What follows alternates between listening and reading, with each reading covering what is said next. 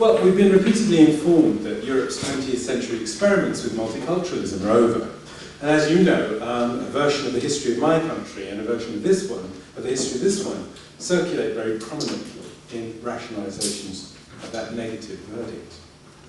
We're told that governmental initiatives aimed at managing plurality failed for a number of reasons. The first layer of explanation emphasizes that any immigrant or foreigner or immigrant descended person can become a treacherous terrorist.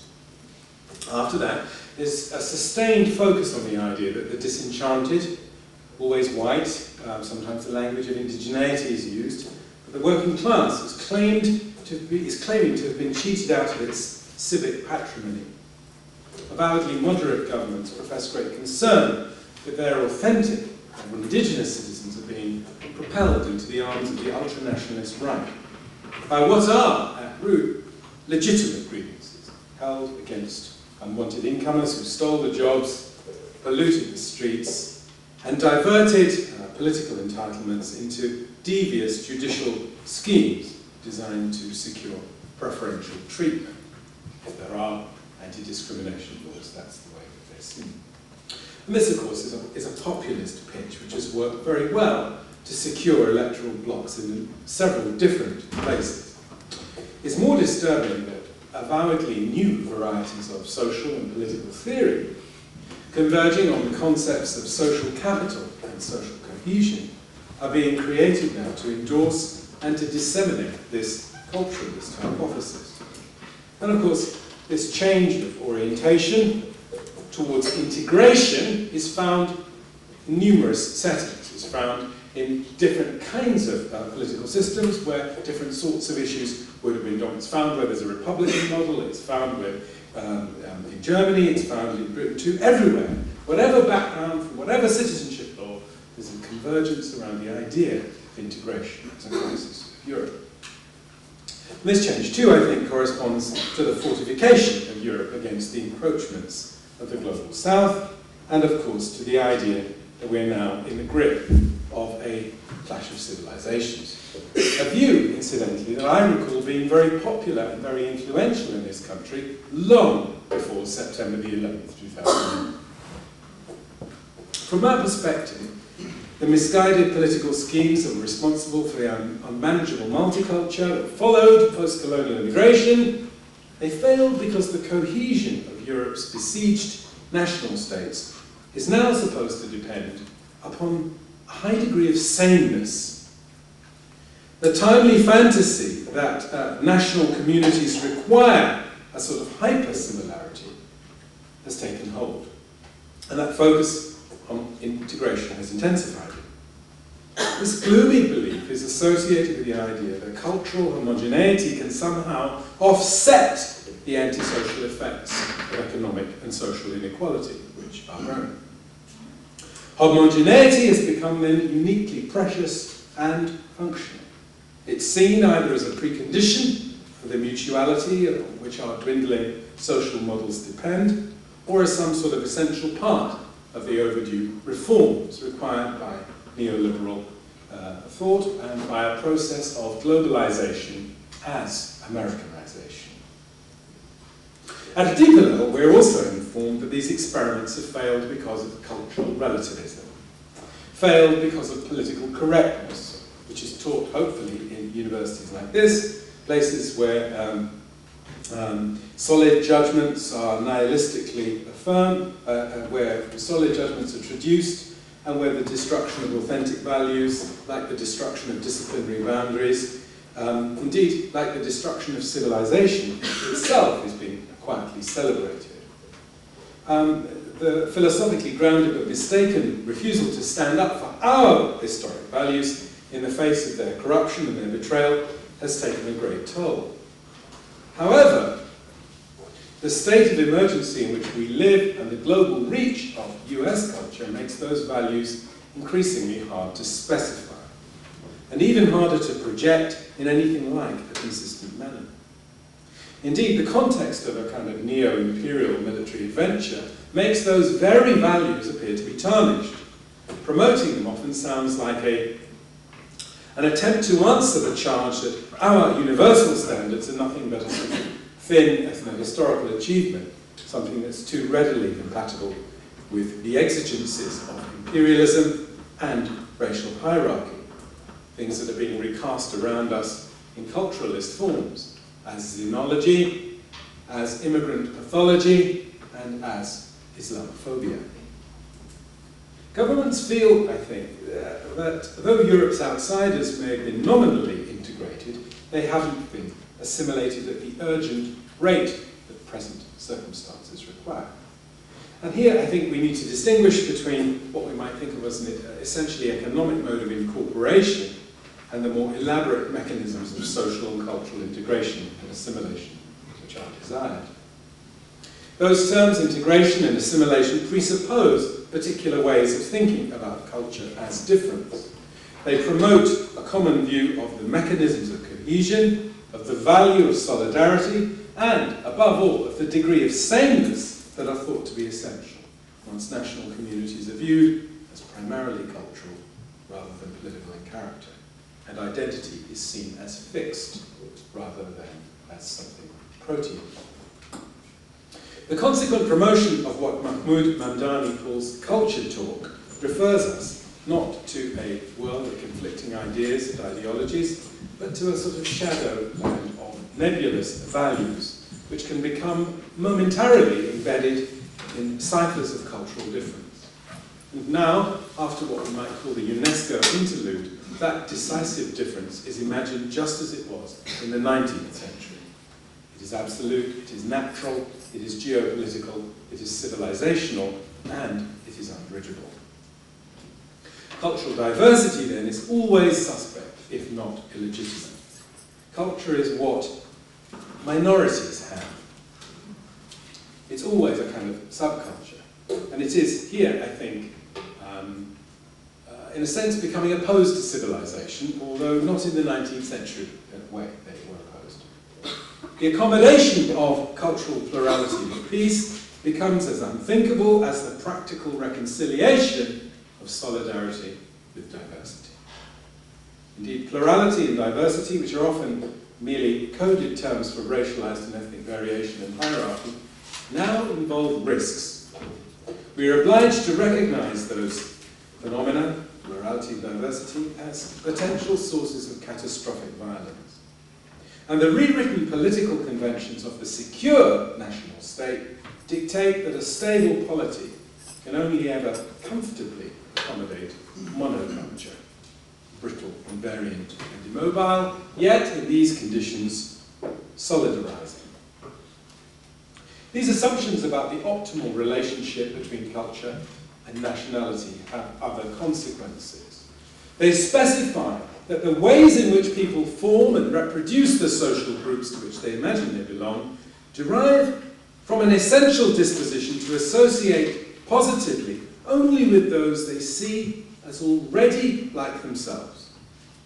An underlying tendency towards sameness trumps all other social processes.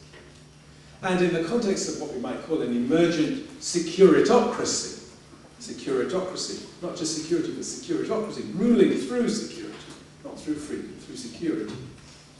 Um, this tendency, of course, combines easily with the resurgence of cultural nationalism, kind of absolutism which people imagine will protect them from the storm of globalization and precariousness of life. Creating a mixture in the process that's proved to be very combustible. Particularly when politicians, and by, here, by this I mean politicians from all political backgrounds and ideological directions, strive to recode the populist instincts to which that deep yearning for solidarity remains captive. And of course its identity which supplies the watchword for all the clustering that's now required in order to feel safe, in order to feel secure. Insecure nations must be bonded anew. But if immigrants attempt any similar defensive maneuvers, their communities, and this is the language of social capital, must be bridged, must be ventilated in order to secure a kind of national cohesion. Ossified and instrumentalized, culture becomes insulated from the manifold pressures of history, from the tempo of everyday accommodation and creativity. So in this, a disciplinary form then, I suppose we could say that identity effectively captures us, pickling people, marking them forever as this or that, as sheep or goat. National groups are invited, in those conditions, to take possession of their absolute culture, the inert object that distinguishes them. They're required to hold it as if it was itself a form of property. Absolute culture becomes enthralling. It reduces citizens to transient elements in a longer story of political ontology, national and racial character, which is maintained in simple functional harmony with what I call the ecologies of belonging that are supposed to distinguish Europe's authentic national states. Of course, the recurrence of these motifs is a small but I think a telling part of a depoliticizing mechanism which inflates and amplifies contemporary culture talk in the unique setting provided by officially endorsed fantasies of long-term conflict. And the repetition of these ideas, their emergence as a kind of common sense explanation of the history of the present, conveys the securitocracy's version of geopolitics as a cultural conflict, defined simultaneously by race and religion and ethnicity. That common sense analysis is circulating now as part of what we would have to call the info well, reflection on the ideal relationship between culture and nationality has a very long pedigree. Um, I can't give the genealogy here, but I will suggest, um, perhaps contentiously, that that um, conversation culminates in the projection of what I would call a racial nomos, um, a racialized organization of law and space as the natural, inevitable fate of humankind course, the history of this idea is an interesting one. It receives its modern, initial modern imprimatur in the subjugation of Europe's first colonies. It's refined over time in the colonial and imperial periods in which European countries dominated the life of the planet. However, the version of that tacitly racialized government currently favoured in my country, in Britain, if not always favoured elsewhere in Europe, let me add, corresponds most closely to the patterns of racial and ethnic segregation and hierarchy that come to us from the history of the United States. Those techniques are seldom seen as the results of settler colonialism, as the results of slavery, and genocidal warfare against indigenous people. Instead, I think, the strong attachment of the US polity to racial hierarchy is viewed as a kind of correctable aberration, what Francis Fukuyama and Condoleezza Rice have both recently called America's birth defect. This outcome appears to be as much the result of its victims' natural shortcomings as any injustices perpetrated by its beneficiaries, the descendants of colonial rulers and other incomers who've been admitted into the citadels of white prestige. That disavowed colonial history apart, the familiar Manichaean polarization into black and white reveals, I think, broad contemporary impact of generic racial and cultural categories sourced from the United States. We're disadvantaged, actually, in thinking about these imports and their impact by the fact that academic professionalism is so often defined by a, a great reluctance to analyze racism and exclusion. The refusal to engage racism's impact on contemporary social and political life is now, I think, integral to focusing attention exclusively on cultural dynamics as both problem and solution. Indeed, making racism appear politically trivial and intellectually insignificant is now part of naturalizing the reproduction of racial hierarchy and of folding that ethnic absolutism into the government of national states. Huge amounts of political energy have been expended on elaborate denials of the fact that racism is historically or politically important as such, and in opposing the idea that horrible racism could be connected in any way to the healthy nationalism, the uh, official patriotism, which are going to solve the problem of integration for us. Now, in trying to understand that state of affairs, it helps, I think, to appreciate the extent to which ideas of racial hierarchy were enmeshed with imperial domination from the very beginnings of European expansion and intrinsic to the makings of Europe's global power in several different uh, phases. All of us who write about race and racism and empire are indebted to Hannah Arendt at this point for her brilliant, flawed attempts to link the history of industrialized genocide in Europe to a prehistory in the colonial spaces of death and racialized misrule. She saw this process, I think, with great clarity, in part because she was alert to the significance of racial division and the forms of power it animated, even if for her, racism remained part of the legitimate reactions of civilized Europeans when confronted with savagery.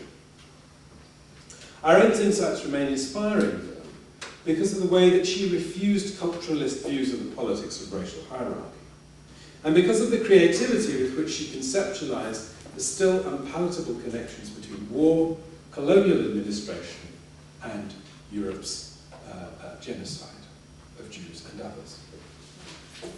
Early ideas about race and what we now call ethnicity were pernicious, even in pre-scientific forms. They were both a tacit and an explicit presence in English political theory from the days when John Locke first winked at the colonists and gave the thumbs up to their wars of expropriation, and Thomas Hobbes' Leviathan is published against the backdrop provided by the introduction of the Navigation Acts, which formally initiated the legal and economic consolidation of the British Empire. Um, Peter Linebaugh, Marcus Rediker, and others, I think, um, have begun the revisionist historical account, which gives us a different sense, a transnational sense, an Atlantic sense of the formation of those class forces and dispositions, an account which, um, you know, for all its romance, does the job of connecting the uh, verification of the Putney debates, the early exchanges of the um, English Revolution, to the life of colonial territories, and to the return of that revolutionary heritage to Europe in the wooden world of the ships that brought it back at the end of the 18th century. Now, the history of those English is, I think, also becoming important for us in the genealogies of security and securitocracy that we need, as well, actually, uh, as in the context of de debates over what is now going to count as the proper history of our country in our national curriculum in secondary schools and so on.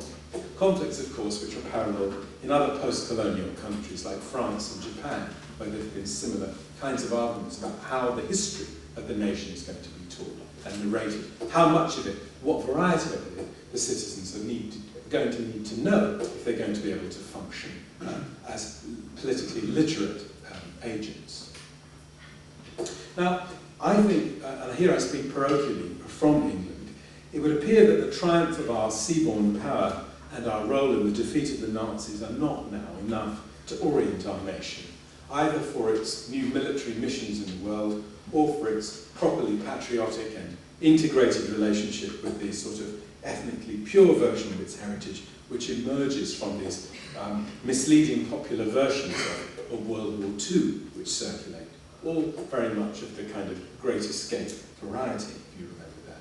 Film of John Sturges from the early 60s, the film with the uh, viral theme tune that is now still sung, of course, by the England football fans. That's their song. We might need to know why that song, of all the songs they might want to sing, is the one that corresponds most viscerally to their idea of who they are.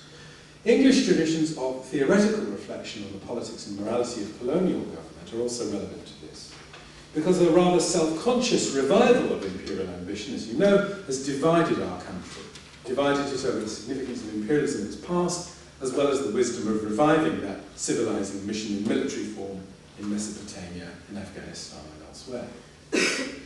As always, our past imperial ambitions were swathed in humanitarian rhetoric. I know you also have this problem. The humanitarian component in colonial adventures, I think, is something that we need to engage more explicitly and historically. Something which remains pending, having been updated and refined in contemporary discussions of debt and conflict resolution, as well, of course, in the struggle uh, to reduce poverty. Proponents of the ideology of civilizational uh, uplift and progress had imagined that the world's unfit and backward peoples were doomed and would simply vanish away with the inevitable global advance of civilization, And although I suppose there are some readings of what's been going on in Mesopotamia which suggest that some people still think this way, I don't think many do. But sentiments akin to those have reappeared in our post-colonial world.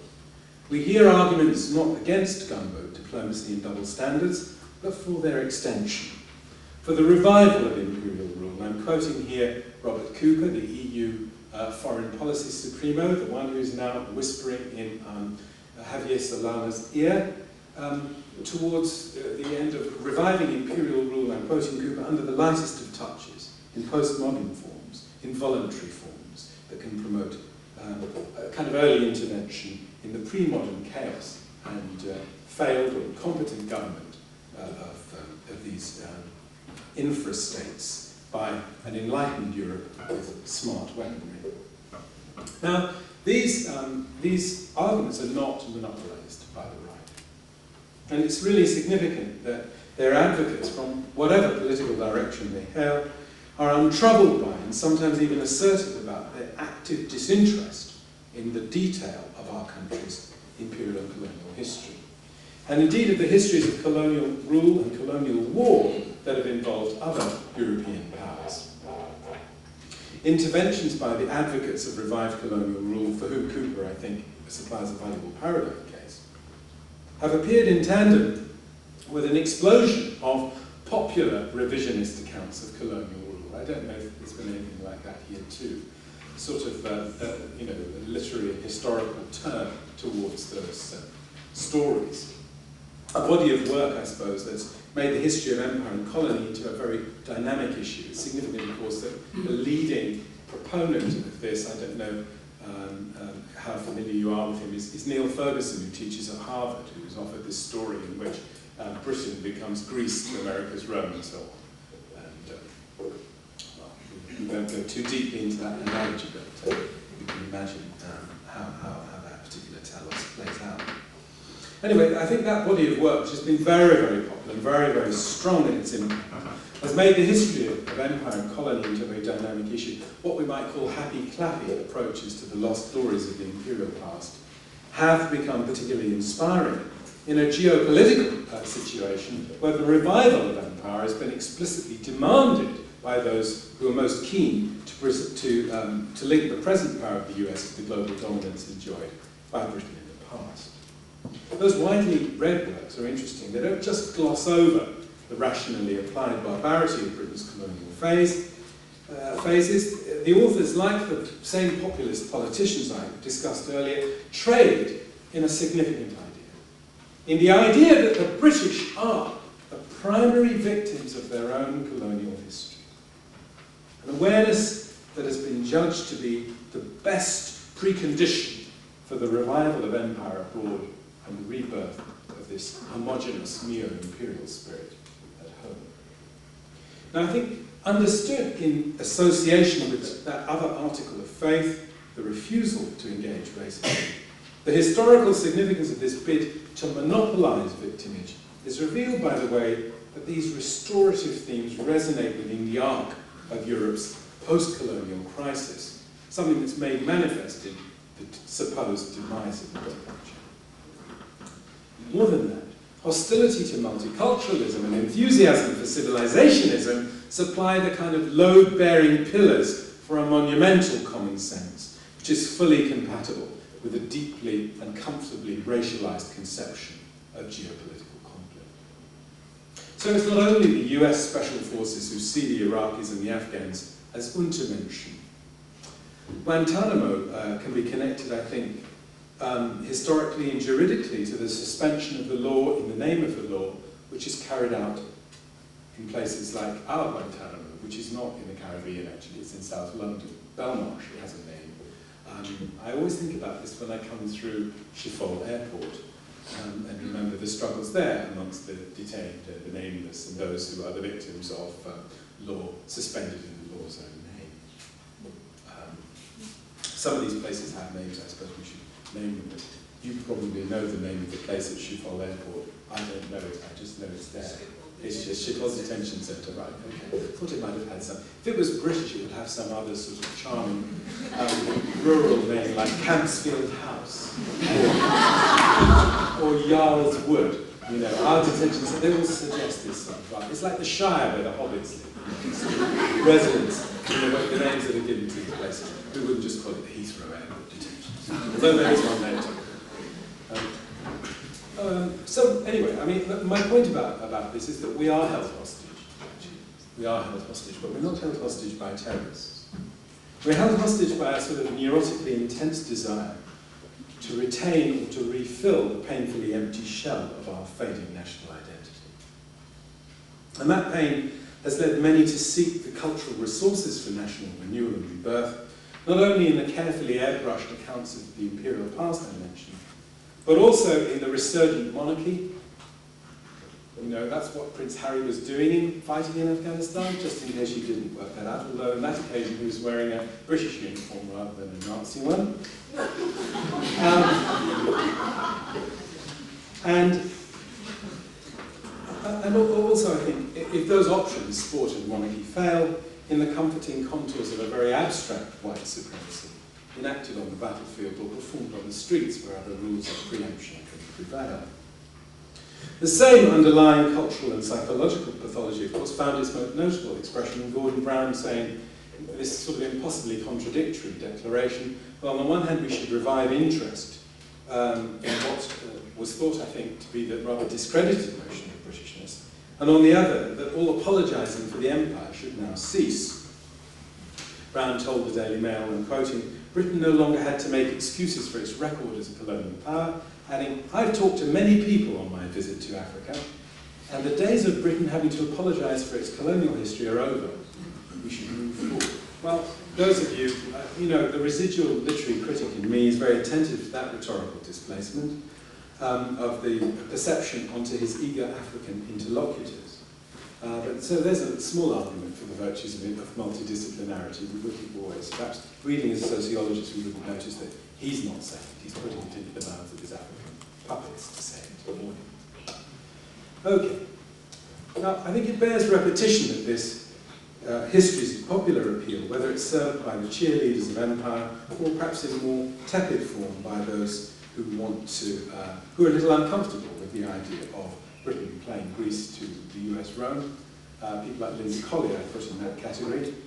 Uh, this lies in the odd way that Brits, rather than the peoples that they slaughtered and exploited and enslaved, emerge as the primary victims of our grand imperial project. And it's really significant, I think, that the broad appeal of this particular combination of themes, Britain as victim, Britain as righteously victorious, is seldom identified as an issue or analysed at all. And I think that luxury, luxury shouldn't really continue. Because the national obsession with World War II as the site of the most intensely held form of national identity, and the very belligerent forms of nationalism and racism that often go together with that, suggests that a renewed engagement with identity reproduces and perhaps amplifies the symptoms of this melancholy. I don't know if you know this, but our ultra-right party, our British National Party, they call themselves, has a theoretical journal, and the name of that journal is Identity. Okay? So those of you who lose that term too easily have now, uh, should be forced to face the responsibility of its importation into their discourse too. They speak a fluent anthropological language, and they took it from some of the things that some of us did. We should, we should face up to that. It's not just Paul Raymond Williams who puts up a check for that. Uh, okay. The blend in which the figures of victim and victor are fused, I think, is linked both to the denial of racism and to this sort of fit in or clear out assimilationism, which is so politically favoured. And the uncontrolled repetition of Britain's heroic triumph against the Third Reich serves the machinery of this melancholia as a screen or a filter. It blocks out imperial and colonial history. It prevents access to the wars of decolonization which followed 1945, and the disappearance of all those other nation-building post-colonial conflicts encourages the mistaken belief that the empire was too long ago to remain relevant to contemporary realities. You would think no wars have been fought uh, since 1945. Uh, in Cyprus or Kenya or Malaya or Aden or Africa, um, or in Palestine, in Ireland. Um, all of this disappears, and what we're left with is World War II. Now, Freud says that melancholia is a state of pathological sadness interspersed with manic elation, guilty self-hatred, and disgust. He reminds us that this melancholia is a condition of shamelessness. shamelessness. But guilt abounds there. The loss that triggers these symptoms will not be worked through. The lost object is gone, but its loss promotes a limitless grief that's expressed in various destructive and self-destructive forms. For Britain, the guilt and the anguish lie in disavowed identification with the empire and its crimes, but that is blocked by the memory of World War II. Perhaps that's familiar to you, I don't know. I hope so. Certainly, knowledge of those crimes is repressed, but the empire can't be let go of. Chicken tikka masala is now a national dish, displacing the fried fish that was introduced by an earlier wave of refugee settlers. Um, of course, we'll see in a few weeks how um, the manipulation in a number of these uh, European nations gets articulated around sports spectatorship.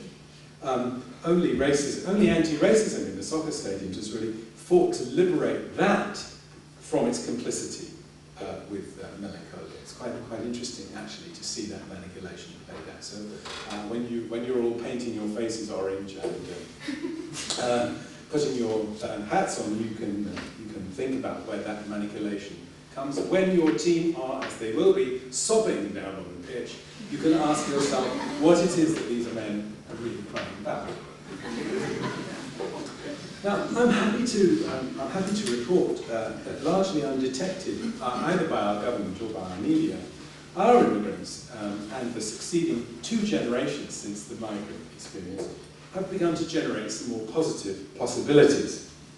Other varieties of interaction have developed alongside the usual tales of crime and racial conflict. And these patterns emerge not from a sort of mosaic pluralism along US lines in which each self-sustaining and carefully segregated element is located so as to enhance the larger national picture, but with a kind of unruly, what I call convivial mode of interaction, in which differences have to be negotiated in real time. Those of you who were in the earlier session when uh, uh, Professor White was talking this afternoon might think of the distinction that emerged there between the uh, forms of, uh, of analysis which accentuate the need for a convergent narrative and the forms of analysis which accentuate the skills, the different patterns and tempo involved in, in acquiring and managing a shared space and a common time. And I think sometimes those things go together, but sometimes they're in conflict. And I'm trying to suggest to you that this idea of convivial uh, social interaction is one which is less concerned with shared narrative, much more concerned with shared space and a common present, being in the same, the same present. Difference is negotiated in real time. Now, Britain's civic life, I think, is endowed with multiculture, um, has been endowed with a multiculture we don't always value or use very well. And in many instances, those convivial social forms have sprouted spontaneously, sprouted unappreciated from the sort of wreckage of failed 1960s experiments with integration. It was really in the middle 60s that we got our anti-discrimination legislation. We got our anti-discrimination legislation then because our Labour government at that time sent its best analysts to Washington at the time that the, that the US cities were on fire, and they returned with the, the idea that they didn't want our country to be like that. And they, they felt that the key to doing that was the introduction of anti-discrimination legislation. Of course, since then, and this is very much the situation in which we are, we're, offered a, a much uh, different account of the relationship between these different cases. One in which America stands for our future. We quarrel among ourselves about whether it's 5 or 10 or 15 or 20 years ahead of us now. Um, that's not a view I hold, uh, by the way, but, uh, but it's a very different one which guided this sense in the middle 60s of anti-discrimination as a key towards equality of opportunity and a refusal of a kind of melting pot um, account of how um, a nation comes to be a nation. Conviviality is a social pattern in which which different metropolitan groups dwell in close proximity, but where their racial and linguistic and religious particularities do not, as the logic of ethnic absolutism suggests they must, add up to discontinuities of experience or insuperable problems of communication. In these conditions, a degree of differentiation might be combined with a large measure of overlapping.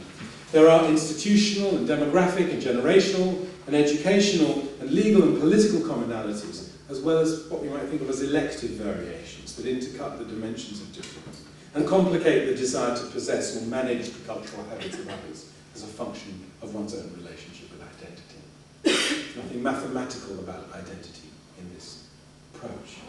Conviviality acknowledges this complexity, and though it cannot banish conflict, it can be shown, I think, to equip people with a means of managing it in their own interests and in the interests of others with whom they might be induced to identify across cultural lines. Now, recognizing conviviality shouldn't, I think, signify the absence of racism. Instead, though, it might convey the idea that alongside those institutional and interpersonal dynamics, the means of racism's overcoming have also evolved. Racism is still there, still souring things, distorting economic life, debasing public life, but it's now articulated together with the kind of ambivalent mainstreaming of minority cultures.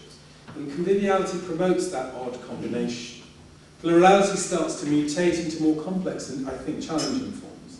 Our black community, for example, shifting away from a Caribbean descended majority um, and towards a very uh, diverse uh, religious and linguistic and ethnic terms, African.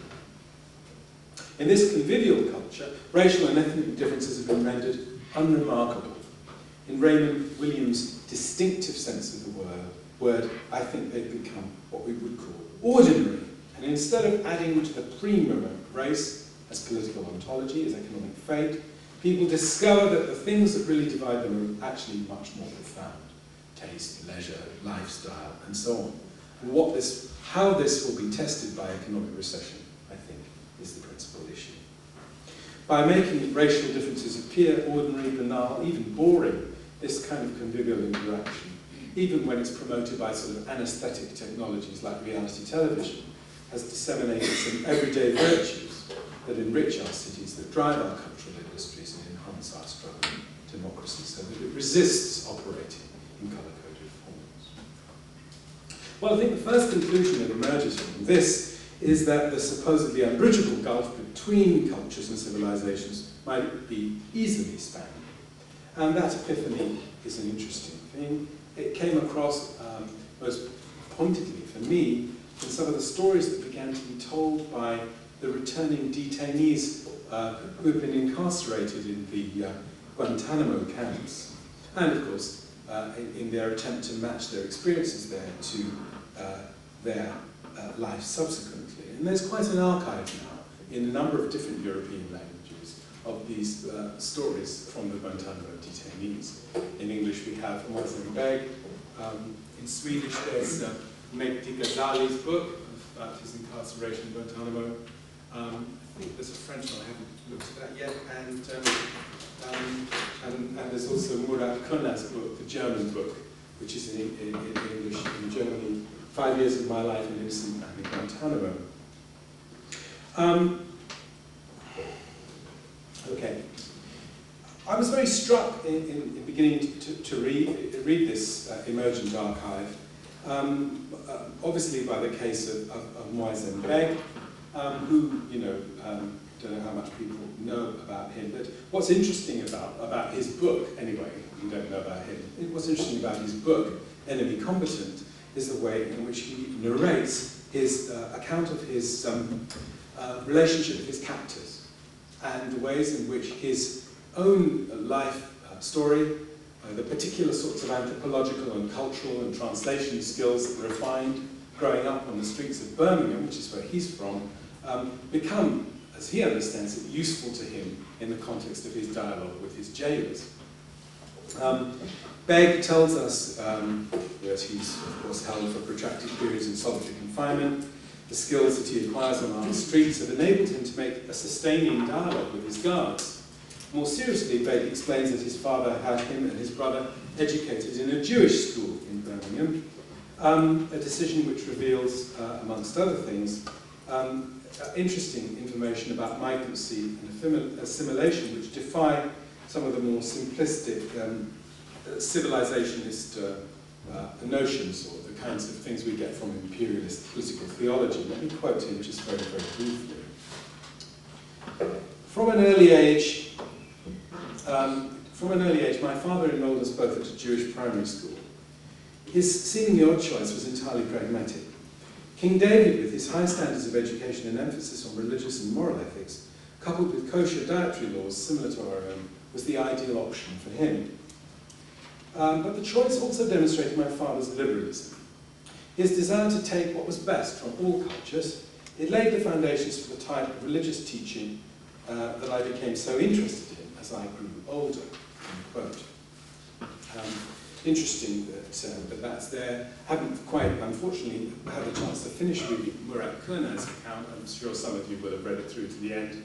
I was very struck by his account of his detention in Afghanistan, his movement through uh, Diego Garcia and other places. Um, and he describes his experience of being incarcerated by uh, the US. Um, they put an armband on me, goes on. There was a number on it, 061. It was green, made of plastic. It's a nice place, said one of the soldiers who'd taken hair and saliva samples from me. Lots of trees. Trees? Were they making fun of me? He pointed outside the tent. The tent door was open. I couldn't see any trees. I saw hills, hills and sand and cacti, big cacti. There aren't any trees where cacti grow. Do you know why you're here? I heard the man with a name tag ask. Do you know what the Germans did to the Jews? He said. That's exactly what we're going to do with you. Now, I don't want to get carried away with this, but it's interesting. It's not me making that comparison. It's not me making that comparison. Let me be absolutely clear that I think there are ethical uh, issues involved in the terms under which that comparison might be made. What's interesting to me is the, it's the, uh, uh, according to the, the, the author of this, it's the that comparison. I think that is something interesting. It suggests a certain uh, breadth um, um, of formation in which that particular history becomes meaningful to our detainee, and he too wants to invoke it, albeit at a distance one remove in the context of understanding his own fate. Um, the lives of the bombers of 7th July and 25th July, and of their victims too, I think, fall into very different categories in those of these returnee stories, which I've collected quite a few. But they also, I think, might be read in ways that yield resources with which to illustrate and to explain some of the social characteristics of convivial interaction. The multilingual and cosmopolitan victims um, have become, I think, reasonably well known. We know much about their lives. I suppose like this was biographies of the people that died in the World Trade Center, which were presented as a sort of exemplary snapshot of a, of a, of a, of a world city, really. Those biographies, those names, those faces have become known in a process of, public mourning, public grieving, but I think I want to contrast very sharply the kind of melancholic pattern I described earlier on. Um, I think it would be wrong to assume that the murders of those people represented nothing more than another view of the opposition between solidarity and diversity. We have to find a better way of reading and using these intercultural uh, contexts and um. A more difficult point still would be to point out, uh, to underline, that nobody involved in these events seemed to have lived comfortably bounded by the culture officially assigned to them by the language, religion, race or history from which we uh, are, are told that they would be unable to escape. Indeed, even the bombers involved seem to have had considerable problems in conforming to the rules of ethnic absolutism that they had chosen. Their Manichaeism delirium might be also read as a response not just to the injuries of racism, but also to culture's protean qualities and convivial aspects. So why, why else would the young man have gone and eaten his last meal at McDonald's before for example? The idea that the ongoing effects of racism and exclusion might even now be inclining some people towards the forms of solidarity that are found in occult groups, fundamentalist, quote-unquote, political groups, priming some people for the seductions of that occultism or conspiracy theory or political Islam, Islam remains rather undiscussed. And those bodies of thought, I think, do supply powerful sources of certainty in a political and economic and technological environment where anxiety and insecurity are dominant social characteristics. In fact, I'd go so far as to suggest a profound and significant family resemblance between those attachments and those groups, the sorts of things that we find amongst the um, uh, ultranationalist um, groups, all the groups, I suppose, that suggest a sort of palingenesis, um, uh, a process of rebirth and, and uh, reconstruction after a phase of weakness and decadence. I think we need to look at those family resemblances much, much more closely. The tiny minority of citizens who resolve their political hopes by becoming agents of eschatological terror don't do this because their culture or their faith inevitably disposes them towards that outcome the decision to act violently may involve aesthetic elements as well as political responses. It may have been formed by protracted experiences of inequality um, that were combined with, um, with a high degree of cultural integration. And accounts of their own uh, murderous conduct provided by some of the recent perpetrators of the terror attacks suggest that they turned away, indeed, from barbarous ignorance and consumerism and towards a kind of virtue in their actions um, um, speaking uh, um, you know, of his own behaviour in the context of a just war theory as an ethical act. Mohammad Sidique Khan is, of course, the most notable one of these voices. I think it's also important for us, and perhaps it's easier for you uh, because of your, your government's rather different choices, um, important for us to see that the lofty inclinations of these people seem to have been combined with a very simple rejection of our government's neo-imperial action uh, that they try to answer the belligerence of, uh, of our nation that refuses to acknowledge the post and neo-colonial dimensions of its global role, even, even when it's dealing with peoples whose memories are sharper and more attuned to the enduring impact of the imperial arrangements that created post-colonial states like Iraq, Afghanistan, Israel, Pakistan, India, Bangladesh, Kenya, and of course Zimbabwe and South Africa. It bears repetition that the politics of race and national identity has been freshly tailored to the outline not of security, but of securitocracy. I should say one or two things briefly more about that. I see securitocracy as a model, a novel form of power and rule that carries a deep imprint of colonial statecraft into the present. In, uh, it's there in the merging of police and military power, it's there in the blur, blurring of older metropolitan distinctions between inside and outside. Well, as I move towards my conclusion, I want to suggest to you that many of the dangers in this moment have been compounded by the institutional retreat of critical scholarship.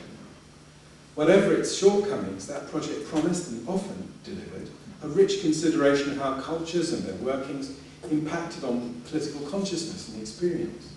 I think the reversal um, there has been counterpointed by a second setback. Timid academics have withdrawn into the shelter provided by the disciplines they had fled from. Scholastic boundaries that have started to appear permeable, even residual, are once again being enthusiastically policed. Uh, and these changes, I think, fit very well with the mood of what I call shallow professionalisation, which has diluted the intellectual life of our universities and is now pressurizing us into becoming appendages of corporate and governmental power that are unable to approach education as either a civic or a public good.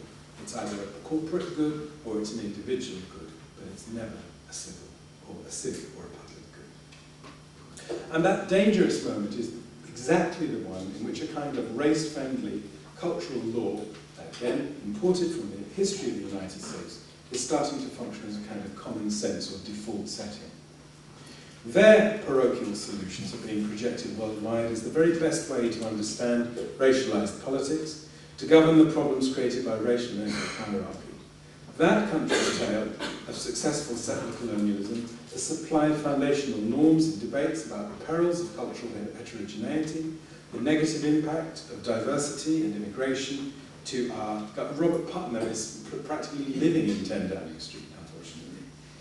US history and political culture are used to generate ideal types that indicate the future for everyone else on earth when it comes to race and racism. US-derived models are advanced as if they reveal a desirable balance between discreetly separable civic and ethnic versions of nationalism. US racial technologies, identity politics, affirmative action, profiling are exported as a ready-made solution to the issues problems discovered um, uh, under the signs of race and multiculture. Now, how we respond to these developments, it depends on how we interpret the confluence of culture talk and civilizationism. How we evaluate the patterns of cultural influence and combination that are around us, and how in particular we understand the significance of the premium that's being placed on cultural heterogeneity. My response to these problems is not necessarily to call for a better theory of cultural plurality, though I think that's needed. As you've seen, I wanted instead to draw attention to the patterns of convivial social interaction that are practiced ordinarily and routinely in everyday life uh, in Europe's post-colonial cities. That everyday activity shifts the interpretive focus away from the cultural resources that precede events in the contact zone and attention gets directed instead towards opportunities and pleasures of habitual interaction, as well as its distinctive tempo. I think we have to reflect upon both the care that goes on in those and the conflict that is created uh, across the lines of culture. These interactions, positive and negative, destabilize the idea that contact with difference proceeds from sealed up or segregated ethnic enclaves, that it comes and flows from safe houses. Our labile politics are not mosaics. They're not composed of fragments that can be arranged into a national picture. We discover instead untidy patterns, cosmopolitan patterns, unruly desire, routine translation, and transcultural imagination.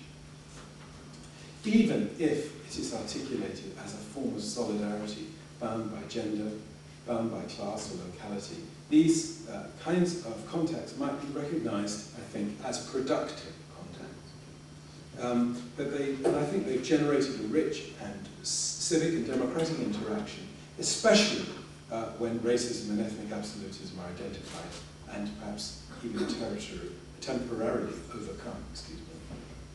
This is telling us that the US is not in advance of Europe on some grand teleological journey towards a successful management of alien incomers and the orchestration of their smooth transformation into uniform citizens. As we've seen, the argument that Europe must have a US-style racial future involves setting aside consideration of the histories of racial hierarchy that are buried there and disavowed in the way that history is circulating. If that sounds too harsh, I think we must immediately acknowledge that Europe has its own distinctive problems of melancholia and amnesia. Failure to work through the consequences of colonial rule and lost imperial prestige now renders many different uh, countries vulnerable um, it, it ought to be possible for you to entertain the idea that that very knowledge is what is motivating them to act against you. So it's very odd that you would disadvantage yourself with a complete ignorance of that history. And that is the case, certainly in my country. In a way, I think, uh, you know, as a sociologist, if I can ever say that, I began to be interested in, in things like the sociology of knowledge. Now I'm not interested in the sociology of knowledge anymore. I'm interested in the sociology of ignorance. I'm interested actually in the cultural reproduction of particular kinds of ignorance, in the cultural context and historical context in which particular patterns of ignorance are reproduced and institutionalized and formalized. And I think we need a better vocabulary for understanding that. We need a change of emphasis which enables us to see the production and orchestration of ignorance in, in, in, a different pattern. And that means, I suppose, going back to Machiavelli and revising Machiavelli, you know, uh, with the help of Edward Bernays and Freud and, and, and, and a number of other people who are the architects and theorists of the info war, a war in which information is not something which is appended to the conflict in the way it was before with a psychological operation, a psyops. Here, that info is the war. That is the war itself. It's integral and in the info war, the imbalance of historical information is disadvantageous for any attempt to develop a global approach to justice and power and security. It reminds us that the world we share is not a blank sheet, that its boundaries were uh, established not only by the end of Soviet communism, but by the breakup of colonial structures, which have conditioned the architecture of economic and cultural globalization, as well as thwarted and widely uh, ridiculed, ridiculed desire for recognition of Europe's past crimes. Um, the unprocessed colonial past can intervene on many either sides of the cultural line to make our political situation more hazardous and more intractable. An overdue coming to terms with the consequences of that departing colonial power is not just a way to make problems brought by racial hierarchies. It's also a way of bringing those difficult issues out of the official domain of culture and inside the proper world of politics. The argument that post-colonial minorities have illegitimately demanded special treatment is, for example, much less plausible when considered in a historical perspective, which admits more than just a kind of contingent connection between colony and metropole based on incidental economic factors. I think we might even argue that European democracy has been enriched, would be enriched, I'm sorry, by facing up to the history of its debasement and its abbreviation in colonial statecraft. The application of industrial killing technology inside Europe as part of exercises in racial hygiene become less than a sublime eruption of unfathomable evil then, that too might belatedly enter the realm of history. I want to emphasize that there are links between that healthier relationship to the imperial colonial past and the vitality and sustainability of the multiculture which is developed in Europe and is worth defending. The strategy for this ongoing work will vary from country to country, but of course most of those countries share a denial of the economic and political and cultural consequences of their vanished imperial and colonial phases. In Portugal, for example, um, um, the link between decolonisation and the establishment of democracy seems to be a critical thing. The relationship of the colonial government to domestic fascism is, is, is relevant too. Political and legal continuities that linked undemocratic habits in national politics to imperial administration have to be discussed and debated. In France, the refusal to consider post-colonial dynamics as significant in any way has been amplified by the effects of that republican tradition. It needs to be given an entirely new genealogy that runs through the colonial world. And of course here, you know, I mean, I don't like Ian Buruma at all, but I'm deeply indebted to him for supplying some elements, some basic clues about what a locally oriented account of the larger social and cultural forces that made immigration into a permanent twilight condition. I've never understood here how you stop being an immigrant. It's always been amazing to me. It doesn't matter how long you're here, you're always still an immigrant. It's very hmm. curious and particular. In the Nordic countries, where there's something of the same, I think, approach, their past colonial adventures remain hidden, and their profit from the wars waged by others is something that they prefer to ignore. The prominence of their politics, of their polities and theories advanced by commentators who see those states as proof of the value of homogeneity, and that will also, I think, have to be challenged. Although certainly in the case of Sweden, most of that is imported from the United States. It's the Jonathan Friedland people who say, well, I emigrated, but nobody else is allowed to or, or Putnam, who gets given the great medal by the Swedish Academy for telling them how to keep their immigrants uh. My country has blundered into this uneven but habitable multiculture only because our governments have been entirely absent from the process of making that multiculture. Patchy acknowledgements of the power of our imperial and colonial past, as during last year's commemorations of the passage of the legislation against the slave trade, have always had to struggle with this melancholic, deeply nationalistic, what I call the two world wars and one world cup mentality, which is what our, which is what our, what our uh, fans chant, two world wars. And I think it's tuned really into the exigencies of our country's slow decomposition into its ethnic constituencies, whether they're invented or ancient.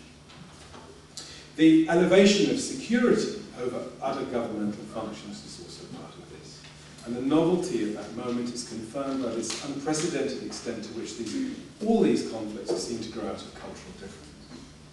Today it's imperative that responses to the supposed insecurity of Europe's cultural resources are not going to be made continuous or even congruent with other geopolitical or economic anxieties. The temptation to indulge in all that kind of analysis has paralleled the rise of the securitocracy in the period since the clash of civilizations was first projected as a framework capable of connecting the riots in Paris, the murder of Van the Danish cartoons, and the war in Mesopotamia. The hidden component driving on all these deliberations is a great need, I think, to specify exactly who will now count as a European, and what that attachment is going um, to involve in today's insecure and unsettling conditions. So instead of reading and writing and creating and debating in order to discover who we are and what we must become, we're being asked to establish and then to enforce a fixed identity as the precondition for attachment to national states, as the starting point for any pursuit of that ephemeral universality which has been its historic counterpart. Of course, a particular set of ethnic, ethnocentric judgments around sex and sexuality, progress and tolerance supplies this arbitrary benchmark for these calculations. But across Europe, there are very few ideologues of that simple-minded multiculturalism There simply are no advocates of facile relativism queuing up to argue for the absolute incorrigibility of discrepant cultural formations. Um, partisans for multicultural and diversity turn out to be rather hard to locate. Few intellectuals, apart from those who are themselves migrants, are prepared to sacrifice their hard-won seriousness so cheaply. And the politicians worked out long ago they have nothing to gain from espousing this unpopular cause. So, let me conclude by returning critically to the idea that to function optimally, national states have to be based upon that obvious, that facile sameness, which is amenable to being engineered from above. The view which says the more homogeneity the better, though the precise scale on which those arguments are supposed to operate is seldom made explicit. I've suggested, I've suggested in Britain anyway, that the homegrown terrorist has displaced the economic migrant, the asylum seeker and the refugee to become the conventional avatar of insecurity. Among the xenophobes and their foes, the appeal of certainty and hierarchy and closed or fortified ways of life seems to be connected with components borrowed from a familiar generic version of revolutionary conservatism, ultranationalism and occultism. Adapters, adherents and practitioners of these ideologies may not even be aware of the history of the gestures they have been repeating. These convergences, these borrowings and recodings constitute an uncomfortable reminder that the rifts and fissures within civilizations account for more than the supposedly unbridgeable gulf between them. The idea that these conflicts are best grasped as existing between contending cultures is, as I hope I've explained, utterly misplaced, just as the understanding of culture as a rigid ethnic marker is now entirely, entirely outmoded.